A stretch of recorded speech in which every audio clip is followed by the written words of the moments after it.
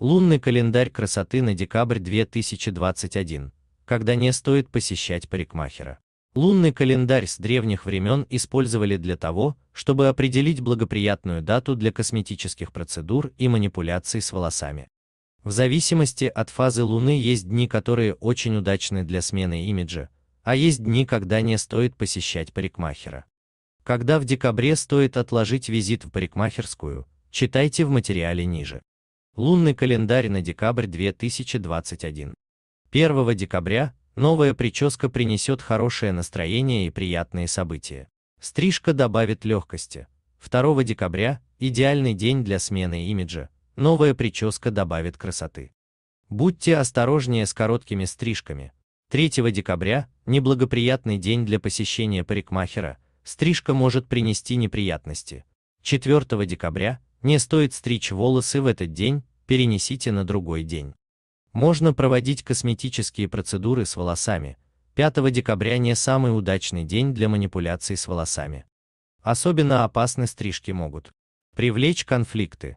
6 декабря стрижка в этот день может повлечь проблемы с волосами и здоровьем в целом.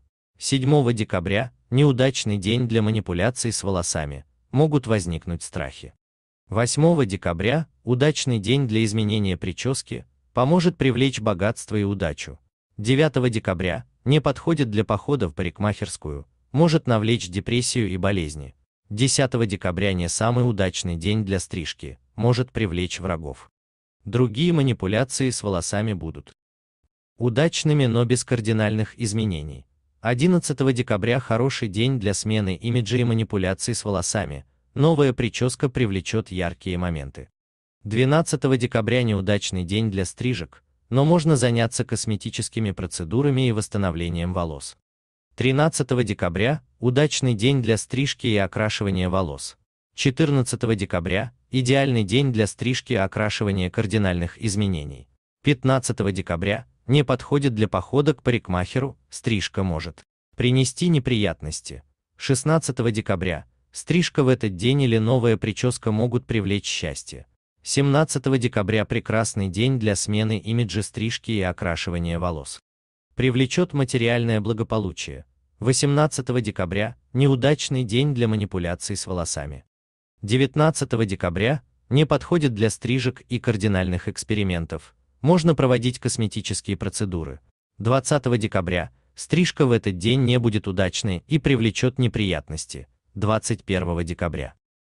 Неудачный день для стрижки и смелых экспериментов. Можно сделать укладку или корректировку длины цвета волос. Не стоит делать завивку. 22 декабря – удачный день для стрижки, она изменит жизнь в лучшую сторону. 23 декабря – неудачный день для манипуляций с волосами, может привлечь бедность. 24 декабря – идеальный день для смены имиджа и стрижек, поможет стать красивее и магически привлекательными. 25 декабря – удачный день для манипуляций с волосами. 26 декабря. Благоприятный день для стрижки. 27 декабря – хороший день для любых манипуляций с волосами, добавит красоты и легкости. 28 декабря – неудачный день для похода к парикмахеру, может привлечь болезни и несчастье. 29 декабря – неудачный день для стрижек.